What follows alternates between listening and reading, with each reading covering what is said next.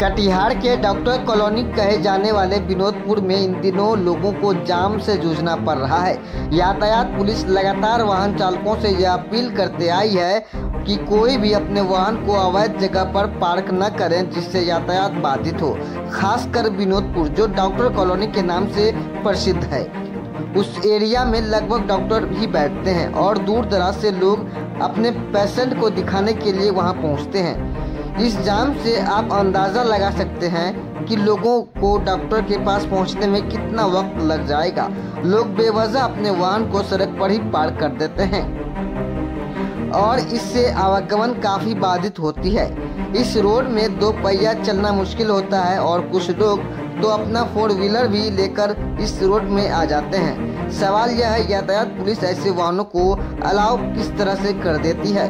और कुछ समझदारी भी वैसे वाहन चालक को होनी चाहिए कि सड़क पर फोर व्हीलर लेकर न जाएँ। अब देखना यह है, यातायात पुलिस आखिर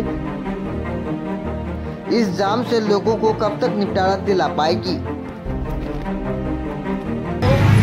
अरे अरे हम लोग गए थे